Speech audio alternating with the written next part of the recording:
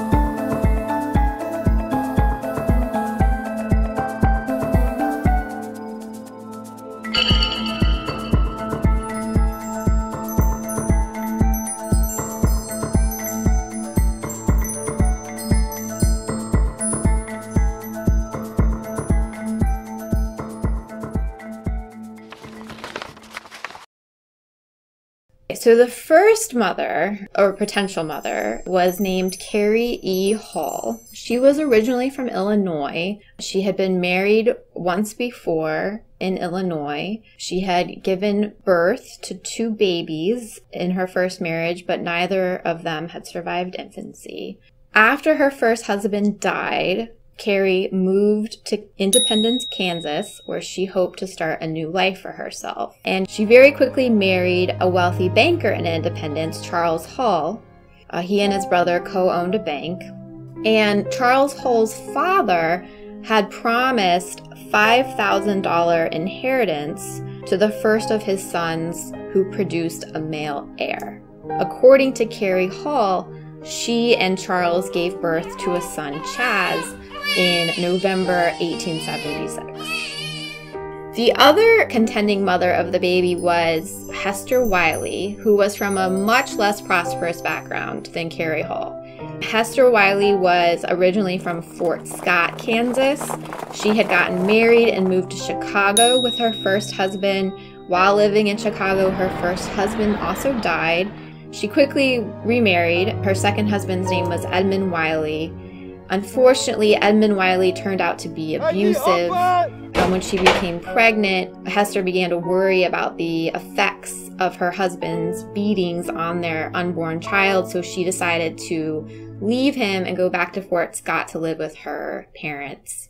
About six months later, her parents told her they could no longer support her and so she was forced to take up residence at the Home for the Friendless in Leavenworth, a public shelter for impoverished women. And she claimed that in October 1876, she had given birth to the baby boy at the Home for the Friendless, along with a sister who did not survive. In the coverage of the trial, the newspapers love to highlight the class differences between these two women. For example, they described Mrs. Hull as fashionable and good looking and described in detail what she wore to the court every day. In contrast, the newspapers characterized Mrs. Wiley as a plain looking woman who wore the same calico dress every day to court. But actually, I think these two women had more in common than we might think. Most importantly, both women faced a society and culture that significantly limited their economic and political opportunities. The state constitution guaranteed women the right to inherit, control, and bequeath property in their own names. It also extended them the right to vote in school board elections. Women were promised equal custody consideration in cases of divorce.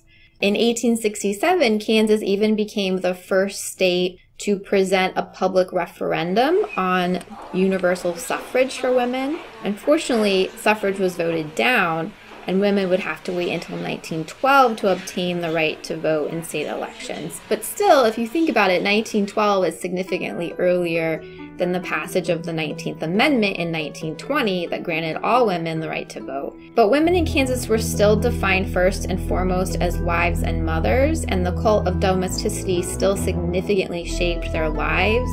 Single women had very few economic opportunities. I think most importantly, the limited economic options they had as single women explains why both of them were very quick to jump into second marriages after their first husbands died. They knew that as single women, they faced a high likelihood of poverty and hardship. So, the Home for the Friendless is another perfect example, I think, of women's constricted opportunities in late 19th century Kansas. It was established in Leavenworth in 1868 and chartered in 1870, and it was intended to provide temporary shelter to poor women and children. It also acted as an adoption agency to help place the children of its inmates in good Christian homes. Remember, the inmates were single women, women who had been abandoned by their families and husbands, and they had very few economic or legal options. The state legislature partially funded the home, as did private contributions. Lawyers for Hester Wiley requested that the Kansas court system issue a writ of habeas corpus to transfer custody of the baby Chaz from Hull to Wiley. They claimed that the baby had been born to Wiley at the Home for the Friendless and that Wiley had been convinced through illegal means to give him up for adoption to Hull.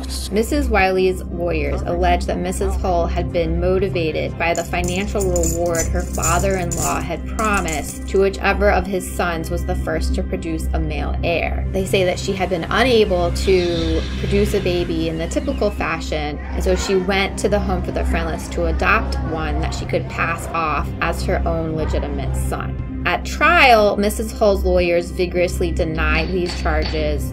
They claimed Mrs. Hull was the son's true mother and suggested that the Hull family was conspiring with Wiley to disinherit the boy. Mrs. Hull's case essentially depended on having her husband Charles Hull confirm that she had indeed given birth to the baby Chaz. But unfortunately for her, her husband was missing throughout the trial. Mrs. Hull's lawyers received a two week continuance of the trial in order to attempt to locate her husband, but he was never found. After the trial was over, Mrs. Hull would later petition for divorce on the grounds of his abandonment of their marriage. Kansans packed the courthouse every day to witness the trial for themselves, and women were present in particularly large numbers every day at the courthouse. The case centered on the most important aspect of women's sphere at the time, and that was mothering. In fact, according to the newspapers, there was debate among the women present during the trial about who should get to decide this case. Several women were quoted in newspapers as saying that they thought that women should get to decide who was the true mother of the child, not a male judge. This case definitely suggests that motherhood was contested around issues of class during this period.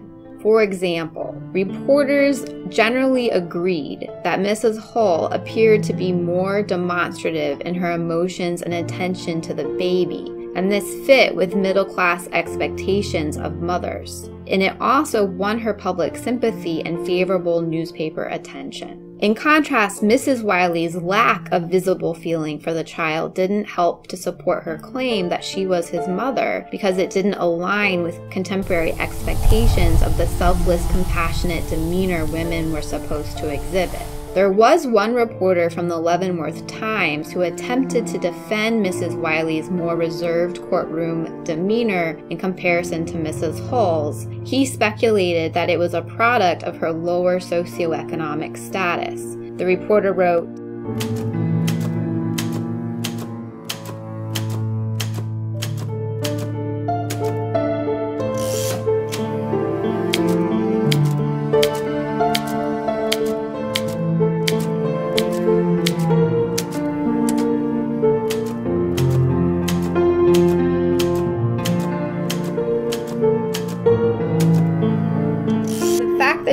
still married, though her husband wasn't present at the trial, likely also helped Mrs. Hull win public sympathy. Mrs. Wiley, in contrast, had left her abusive husband in Chicago. She was homeless and husbandless, and thus far from society's model of the perfect mother.